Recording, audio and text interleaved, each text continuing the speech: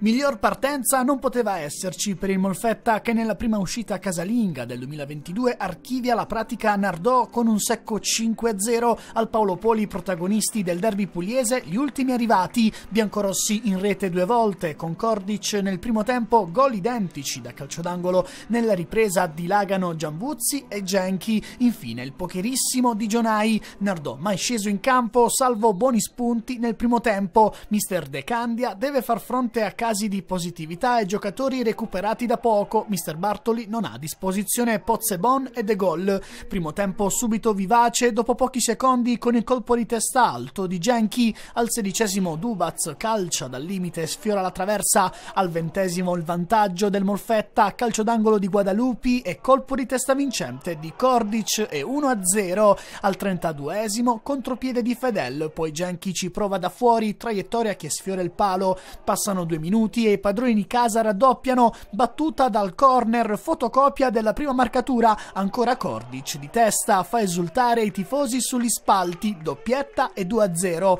Nel finale segnali di Nardò al 36esimo Cristaldi lotta in aria e calcia in porta, debole e troppo facile per Viola che blocca al 43esimo, ancora Salentini pericolosi, angolo di Caputo, sponda per Cristaldi che calcia ma trova la respinta provvidenziale in corner, primo tempo in archivio con il Molfetta Fetta avanti di due reti. La ripresa si apre al terzo minuto con l'incornata di De Giorgi fuori misura di non molto, Nardò piuttosto sbilanciato e al settimo arriva il contropiede dei padroni di casa, Genki serve in aria il tapin facile facile per Giambuzzi che incredibilmente manda sul fondo a porta sguarnita. È solo questione di tempo perché il Molfetta trova il 3-0 al dodicesimo. La firma è quella di Giambuzzi che si fa perdonare seppur con un po' di fortuna. I ragazzi di Mister De Candia accusano il colpo, i padroni di casa casa dominano il campo. Al tredicesimo destro a giro di Guadalupi che sfiora il palo. Al sedicesimo è Genchi a provarci. Tiro violento respinto in angolo da Petrarca. Anche Lobianizze si unisce all'elenco dei tiratori al diciassettesimo. Palla che sorvola di poco la traversa. Al diciannovesimo arriva il poker dei biancorossi. Genchi fa tutto da solo. Ebbene, gol e risultato in cassaforte. Nessuna reazione degli ospiti. E al ventiduesimo il Molfetta continua a martoriare la porta di Petrarca. Prima con Pane Bianco, poi con Dubaz, la difesa salentina si salva in corner. Al 25esimo Gionai da fuori aria trova l'angolo giusto per il pokerissimo che mette il punto esclamativo sul punteggio. Lo stesso numero 7 di casa al 29esimo costringe Petrarca alla deviazione in angolo, mentre al 33esimo deve fare i conti con il palo che gli nega la gioia della doppietta.